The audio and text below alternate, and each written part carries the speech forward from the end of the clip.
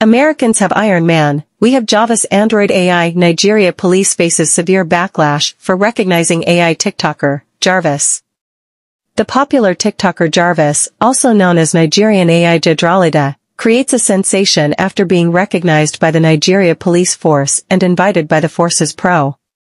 Jarvis recently posted images of herself with her colleagues and the police pro at his Lagos office on the microblogging site X.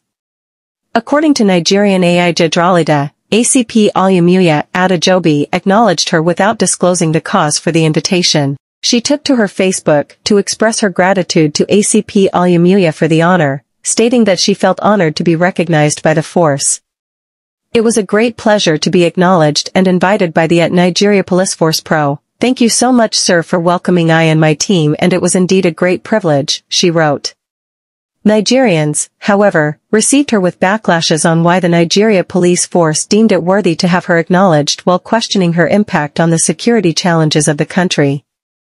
Reactions as Nigeria police acknowledges AI TikToker, Jarvis underscore Dia01 noted, acknowledged by the police for what? Helping to fight crime? Being a model citizen? Helping people in need? This country is a joke wallahi. Aim the machine underscore wrote, acknowledged by the app police NG in what capacity? Will you be flying around Lagos intercepting crimes? Why is she being relevant? Is she related to someone in the Nigerian police force or Nigerian police commission? Is she related to someone in Balabu government? Wouldn't be this?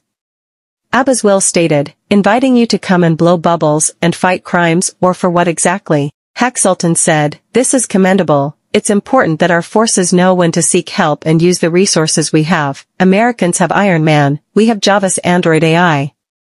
Let the crime fighting begin handshake handshake handshake dot. Desmond underscore Butte opined, they invited your team to fight crime or am I missing something?